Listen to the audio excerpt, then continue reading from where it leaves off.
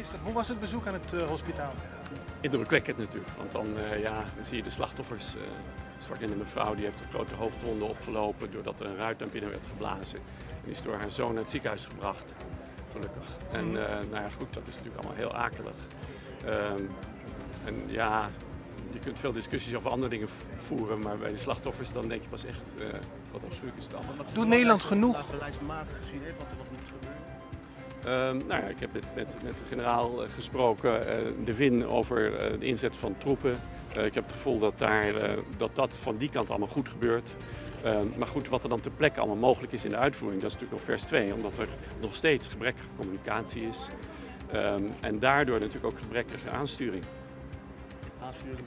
Er is kritiek dat de dingen te langzaam op gang komen, er te weinig manschappen zijn. Er is feitelijk niet een functionerend openbaar bestuur nog, omdat er nauwelijks communicatie onderling is. Dus het, maar ook vanuit Nederland? Maar vanuit Nederland gaan we er nu morgen met z'n allen naartoe en zijn we nu hier. Maar, maar op het eiland zelf is er geen elektriciteit, althans maar voor een deel. En is er gebrekkige communicatie, uh, geen stromend water. Dus dat is echt een, een, een noodsituatie. Moet Nederland niet de regie overnemen? Het heel snel weggehaald en wij Sorry, ik, ik, ik, twee... Nee, maar andere landen, Amerika en Canada, die hebben met vliegtuigen heel snel zijn, die waren die op Sint Maarten. En, en, en Nederland heeft langer dat is niet zo, maar ik ga hier nou niet alle landen vergelijken. Er moet bij andere eens geëvalueerd worden. Maar we hadden al voor de storm 100 mensen ter plekke.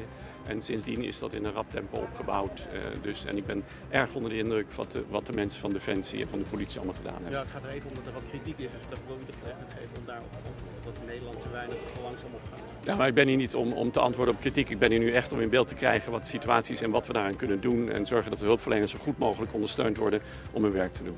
Wat die moet gebeuren?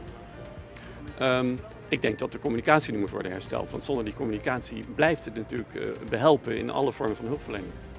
Moet Nederland er niet de hele regie overnemen, juist omdat de regering van Sint Maarten niet de mogelijkheid heeft om te communiceren? Kijk, feitelijk op dit moment ligt, de regie is een groot woord, maar ligt veel van de actie natuurlijk bij de mensen van Defensie en politie en de noodhulp, die daar doen wat er moet gebeuren. Dat kan natuurlijk geen bestendige situatie zijn. we gaan morgen ook praten met de gouverneur en met de minister-president ter plekke um, en kijken hoe daar, hoe daar um, nu een vorm aangegeven kan worden. Maar, maar ik ben dolblij dat in die eerste paar dagen de mensen van Defensie en politie daar waren om die noodhulp te verlenen. En minister Marlin, minister-president Marlin, hij lijkt heel vaak helemaal niet te bereiken, ook voor de mensen op Sint Maarten niet. Heeft u inmiddels al vaker contact met hem gehad? Ik heb tot dusver twee keer met hem gesproken, ja. En dan de telefoon, overigens via militaire verbindingslijnen heb ik contact met hem kunnen hebben. Maar goed, ik neem aan dat we elkaar morgen zien, dus dan, dan spreken we elkaar. Morgen vertrekt u? Morgenochtend gaan we naar naartoe. Er was sprake van plunderingen, zijn?